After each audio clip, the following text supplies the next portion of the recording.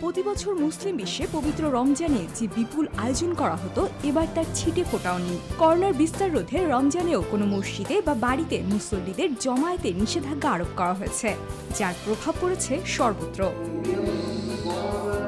ইসলামী বর্ষপঞ্জির সবচেয়ে পবিত্র এই মাস পরিবার, সমাজ এবং রাষ্ট্রকে ক্ষমা, প্রার্থনা ও পারস্পরিক সহায়তার সূত্রে বাঁধে। তবে দেশে দেশে লকডাউন, মসজিদে সমবেত নামাজ আদায়ে নিষেধাজ্ঞার কারণে বিশ্বের প্রায় একশো আশি কোটি মুসলমান এক ভিন্ন রমজানের স্বাদ পেতে যাচ্ছে।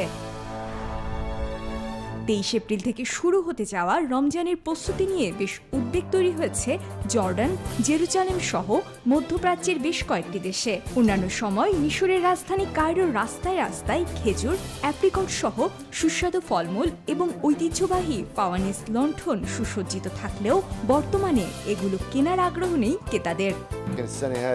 এ এক ভিন্ন অভিজ্ঞতা। মসজিদ বন্ধ থাকায় আমরা নিজ নিজ ঘরেই নামাজ আদায় করছি। তবে অন্যান্য বারের মতো এবার আলোকসজ্জা বা আনন্দের বিষয়টি নেই। তবে উদ্ভূত পরিস্থিতিতেও একত্রিত হওয়ার উপায় বের করেছেন মুসল্লিরা। নিজ নিজ ঘরে অবস্থানের মাধ্যমে ইবাদত করা ছাড়াও লকডাউনের চ্যালেঞ্জ মোকাবেলায় প্রযুক্তির ব্যবহারে নামাজ ও তারাবির খুদ্া অনলাইনে প্রচার করার সিদ্ধান্ত নিয়েছে অনেক